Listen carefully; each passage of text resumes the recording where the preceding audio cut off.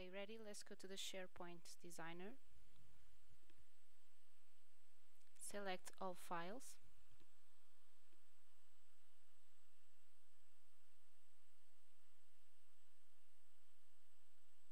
Now catalogs and master page.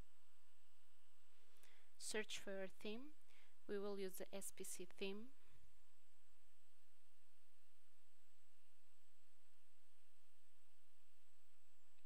Now let's edit the home master page in advanced mode.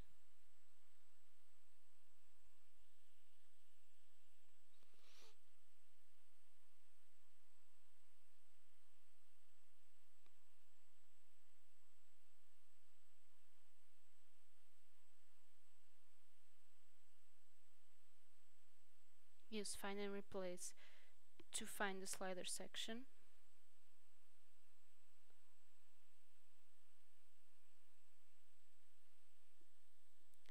Will place the code for the slider here.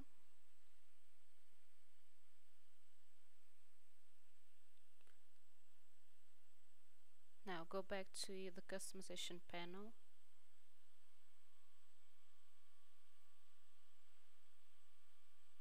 Select widgets and sliders. Select view code and copy the entire code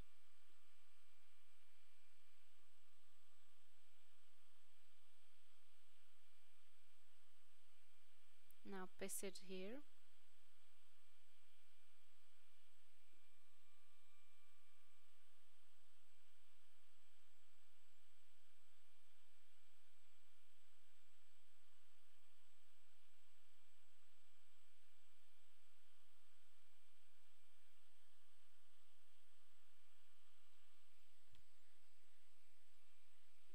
Now save it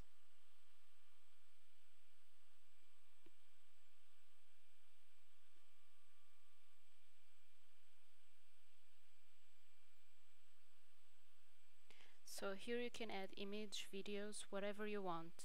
You just need to respect the HTML structure. Now close it and go back to the home master page, click check in and publish a major version. Click OK. Go to your home page and refresh.